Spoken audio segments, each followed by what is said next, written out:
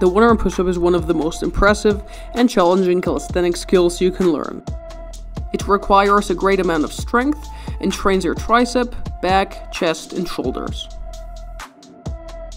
If you're starting to learn the one arm push up, make sure you can do at least 30 to 40 push ups, since this will give you a great foundation.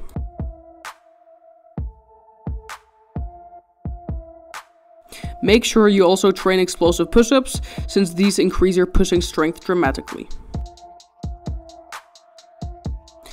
The next exercise you should be doing is assisted one arm push ups or fingertip push ups.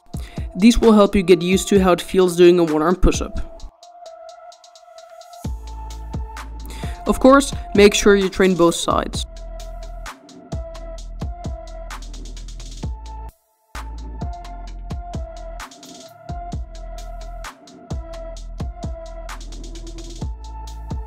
Next up, we're going to be doing the assisted one arm push up.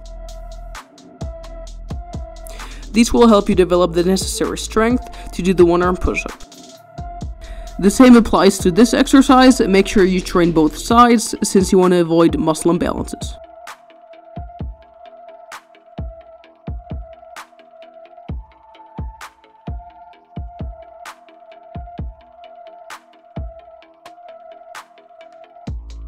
Deep push-ups are great because of their increased range of motion, which will overall give you more pushing strength.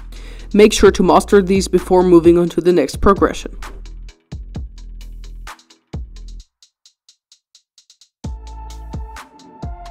Incline one arm push ups are a great exercise to help you build up the strength you need for the one arm push up because they're a bit easier.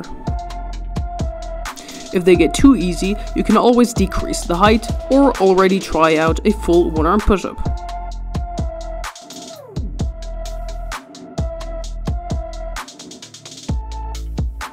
The negative one arm push up is the last exercise you'll be doing before you'll actually get your first one arm push up.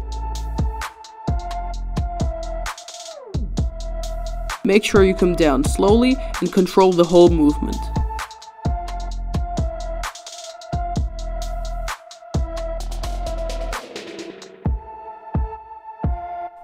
Make sure to include all of these exercises into your workout and you'll be doing one arm push-ups in no time.